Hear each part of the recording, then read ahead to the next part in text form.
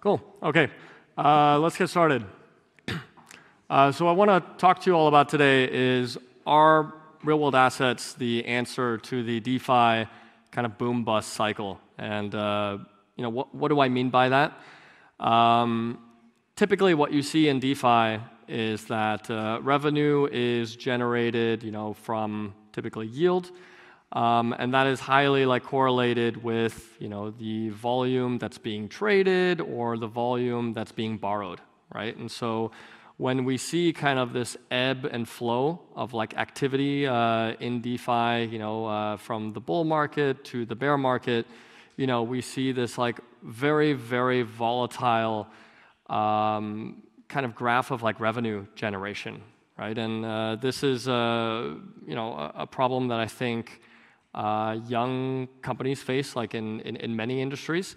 Um, but part of, like, the maturation process is to start smoothing out that revenue, so you have, like, continuity of of operations, right? Because the last thing you wanna do is hire, like, uh, 50 people, 100 people in the bull market just to then have to, like, uh, let everybody go at the end and have, like, this huge brain drain, right? Um, so, uh, how, do, how do we get there? Um, I kind of think real-world assets are, like, uh, a significant, like, piece to the puzzle here. And, uh, so I would like to take some time, you know, to to tell you why I think that is and and how you can kind of go about doing that uh, that yourselves. So, um, quick spiel about us. We're Chronicle. Um, we are an Oracle protocol that spun out of MakerDAO. Uh, fun fact, uh, at Maker, we actually created the first Oracle on Ethereum and uh, went live on mainnet in May of 2017. Um, and the reason we built this Oracle was because, at the time, there was no existing Oracle solution. So when we were trying to build Dai, Um, you know, we had to, like... Before we could even start building Dai, we had to build out all of these other primitives first. So, you know, Maker created the first Oracles on Ethereum, we created the first DEX on Ethereum, we created the first, like, Solidity debugger. We actually just spent, like, the first 18 months not even actually working, like, writing a single line of Dai code, um, and just, like, building up, like, the uh, the infrastructure that we needed. Um, and so Oracles were were a big piece of that. Um, so I wanna talk about uh, Maker a little bit, and so uh, to kind of get you guys up to speed, right, uh, what does MakerDAO do? Maker is a stablecoin protocol, right? We have a stablecoin called Dai. Um, it's backed. It was originally backed by just Ethereum. Uh, then a few years later, right, we added the ability to use multiple collateral types, right? So you could start using uh, all kinds of, uh, you know, Lido-staked ETH or wrapped Bitcoin, right, or even LINK tokens, right? Whatever it is.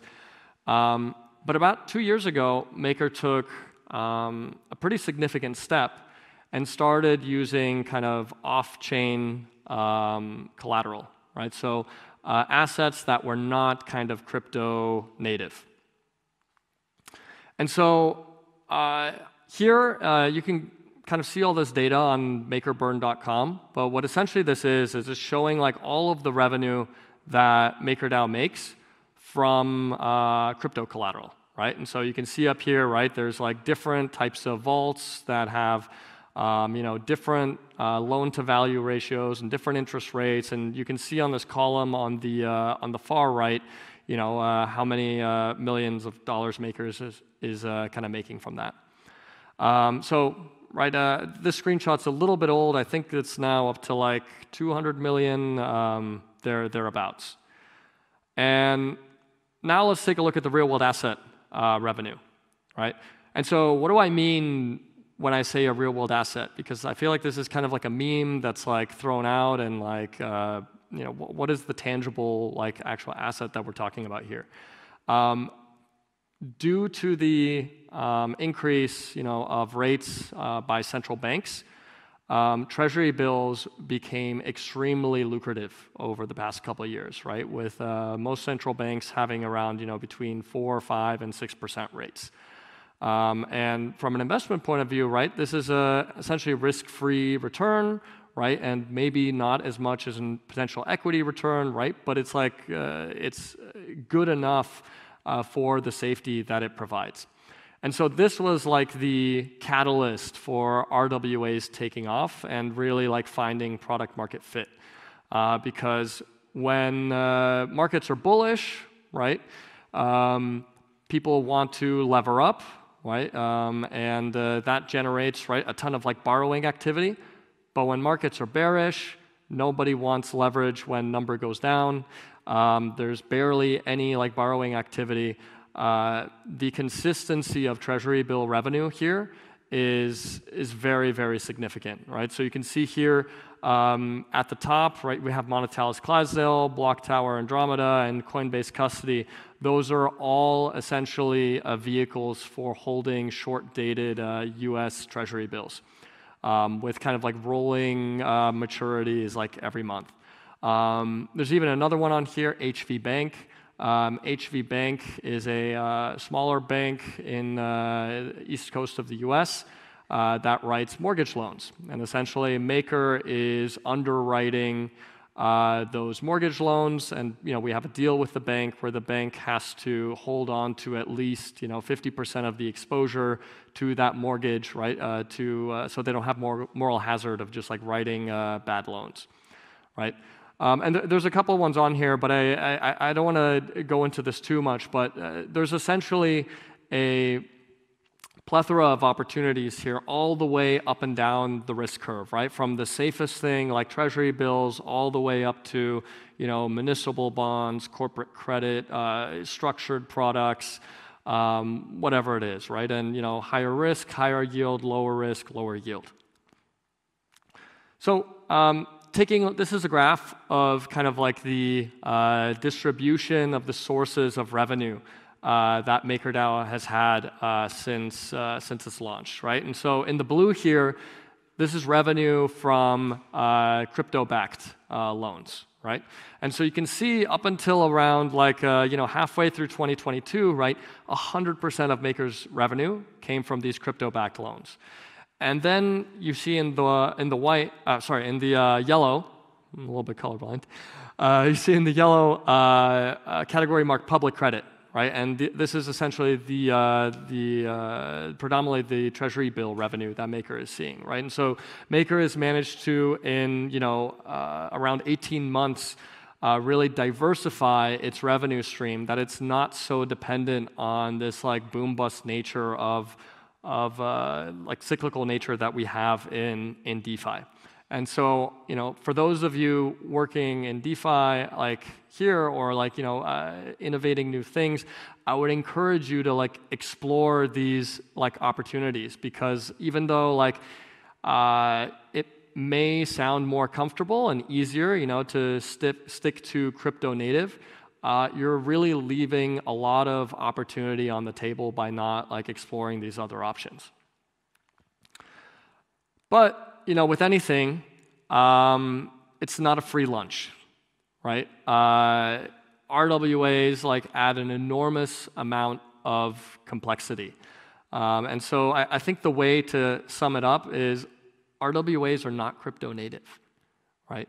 Um, when you have a token on chain, right, uh, you can immediately get, you know, the supply. You know who the holder is, right? You know exactly how much they have, right?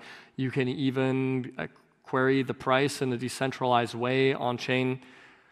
RWAs don't have this because what typically what you have on chain is not the RWA itself; it's a representation of the RWA. And so this leads to a lot of problems when you're integrating an RWA that you don't really have with crypto native collateral. Because essentially, the way to think about the RWA token is it's a dummy token. It's just like an entry on your ledger. And so you require a lot of context um, and a lot of data, uh, like metadata that corresponds to this uh, RWA that you don't really need in that crypto native context. And so, um, while the metadata for an RWA is going to be very unique to the type of that real world asset, um, I want to quickly touch on a non-exhaustive list of like some of the factors and categories of data that, that you may want to consider, right? And so, for example, let's, uh, let's start with custody. So um, when you have a real-world asset, right, it will be custodied in, you know, um, in some kind of institution, right? And there are are, are kind of various risk factors here, uh, but typically you want some kind of um, bank or some kind of trust uh, that is the custodian of the asset, right? And it's important, right, uh, that you have some mechanism to uh, determine and assert in real time, you know, how much of those assets are actually sitting there in custody. Because remember, what you have on chain is just a dummy token, right? And so uh, that dummy token could be completely worthless if there's not sufficient amount of assets in custody, right? Or it could be one to one, right? But uh, you need to have real time data kind of asserting uh, what's actually there in, in the real world, you know? So we have a mirror image representation of that on the crypto side. Uh, let's talk about liquidity, right? Um, I think in crypto we get really wrapped up in, oh, this is the price of the asset. Um, and I think um, a gentleman from ChainSecurity yesterday was talking about Oracle as DeFi. I think uh, uh, summed it up really well that uh, we shouldn't think about price as like a static number. We should think about price in the context of uh, how many tokens Y can I get if I sell X amount of tokens on the market? And so it is a price with the context of liquidity. Because you can have a very high price with very low liquidity, and if you were to sell 100,000, 500,000, a million dollars into that market, uh, you will have a drastically different price impact depending on the liquidity. And so with real world assets, um, some of them are extremely liquid, right? You know, I mentioned treasury bills earlier. Treasury bills are one of the most liquid markets in the world. But others are extremely illiquid, right? Uh, they may not even be publicly traded. They may only trade in like dark pools. Uh, some of them are never traded, right? They're just held until maturity, right? And so um, it's not as simple as just oh, here is the price of this RWA. Let's bring that on chain, and now people can borrow against that RWA. Uh, the liquidity and the discounted pricing uh, as a factor or function of liquidity is extremely important. Um, counterparty risk, right? Um, let, us kind of talk about like how RWAs are structured. And while they're, it's a very young market at the moment and where there's very little standardization of how you legally actually structure one of these. Um, I want to delve into one example using Maker um, to kind of give you a sense of like what are the different like actors involved here and how do they all interact. So in a Maker kind of structure, what you typically have is you have a trust, and the beneficiary of that trust is the Maker protocol itself. And essentially, this trust in its bylaws uh, essentially can only uh, execute instructions that are given to it by Maker governance. So, Maker governance has to do a vote, and the trust can only do anything if Maker gives it instructions. Um, next to the trust, you will have some kind of broker, right? Because someone has to go and purchase and sell these securities right? Uh, next to the broker, right, you'll have a custodian, right? Because the, the broker then needs to um, put those assets in custody on behalf of the trust. The trust, you know, can own the assets, but it can't custody them themselves. Um, and then even next to the custodian, you may want to have an auditor, right? Um, and so, uh, you know, an auditor checking that, you know, the assets uh, that the custodian has in custody are actually custodied there and are actually, you know, what they claim to have in custody. And so, when you're thinking of like this data, you have to think about, well, how am I going to get that data? Um, and I, I think it's a trap to say like, oh, well, like I'll just go to the custodian and I'll just check what's in custody. Or, oh, I'll just go to the broker and ask them, like, what did you buy and sell? Or, oh, I'll just go to the trust and be like, hey, trustee, what instructions did you give to like, you know, uh, to for people to do, right? Or, or even the auditor. And the problem here is that each of these actors have moral hazard, right? Um, they have moral hazard in the sense that if Maker stops providing credit, then they stop making money. So there is a um, incentive for them, right, to uh, fib or, or, stretch the truth or, or lie, if you will, right? And so the only way that you can really start to build up confidence on chain in a snapshot of what the state of the real world is is by starting to have composability of all of these different counterparties right? And so, what do I mean by that? Well, it would mean you don't just trust the custodian, you don't just trust the trustee, you don't just trust the broker, you don't just trust the auditor. You only trust them in when they all have symmetry. And so, what I mean by symmetry is, well, maker governance, right, sends money to the trust, right, and gives them instructions. Hey, buy 50 million of short-dated, you know, U.S. Treasuries. Right? The trust will acknowledge that they received those instructions that they sent the money to the broker and that they relayed those instructions to the broker, and then they will attest. They will sign with their key, right? You know, this is, this is what's going in, this is what's going out. You do the same thing with the broker. The broker says, I received these instructions and this amount of money from the trust.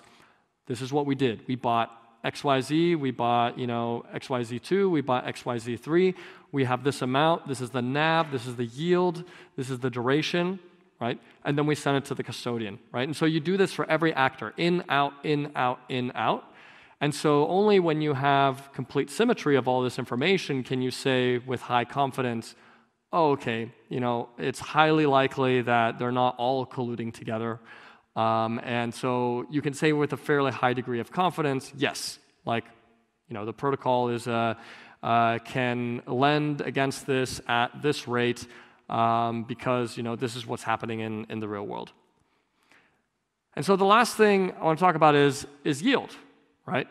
Um, a lot of these real world assets are yield bearing, right? That's why a DeFi protocol would want to extend credit to a real world asset, right? It wants to make money. So if MakerDAO loans half a billion dollars, you know, uh, to some entity to buy T-bills, well, it's because MakerDAO wants to make T-bill yield.